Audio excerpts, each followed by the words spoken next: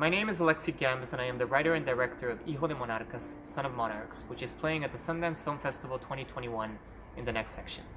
This film is about a Mexican scientist living in New York who returns home at the foothills of the butterfly sanctuaries in the forests of Michoacan in Mexico. This return home triggers an existential crisis. Mendel is trying to understand where he belongs in a divided society. He feels unrooted especially in a time where he's trying to understand the codes of life in a laboratory in New York. His soulmate and alter ego is the monarch butterfly that connects him to his homeland in Mexico, but also to his new life in New York. This film was shot in two countries, in the US and in Mexico, and in two languages.